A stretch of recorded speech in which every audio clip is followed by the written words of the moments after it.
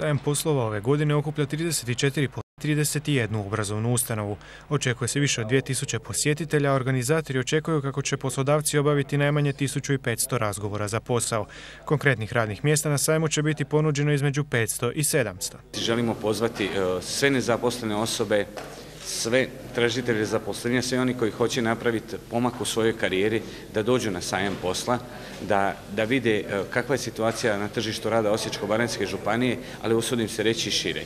Na sajmu će sudjelovati i predstavnici Mađarskog migracijsko-informacijskog centra koji će govoriti o svojim iskustvima u zapošljavanju u Europskoj uniji te mogućnostima rada i školovanja u inozemstvu.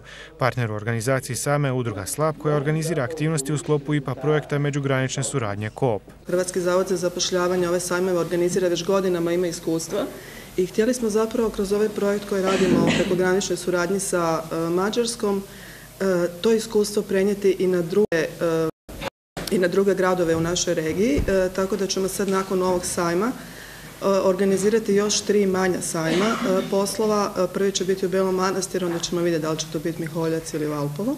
Uz ponudu poslova Udruga SLA predstavit će socijalno poduzetništvo te načine na koje ono može stvarati nova radna mjesta. Na sajmu sudjeluje i Centar za socijalno podučavanje Proni Osijek koji organizira okrugli stol na temu zapošljavanja mladih, odnosno kako pronaći prvi posao ako je uvjet prethodno radno iskustvo. Mi želimo na tom okruglom stolu ponuditi neke od mjera i mogućnosti, ali isto tako E, pružiti možda e, nekakav prijedlog i to u obliku mentoriranog volontiranja koje bismo željeli objasniti kao jednu od mogućnosti, odnosno potaknuti e, poslodavce da priznaju to mentorirano volontiranje kao stjecanje određenog ipak profesionalnog iskustva, radnog iskustva izvan redovitog zapošljavanja. Sajam poslova održava se 30. ožujka u sportskoj dvorani elektrotehničke i prometne škole u Osijeku od 10 do 15 sati. Nezaposleni roditelji na sajam mogu povesti svoju djecu za koju će udruga Breza organizirati igraonicu. Srednjoškolci i studenti će putem interaktivnog programa moći testirati te profesionalne sklonosti.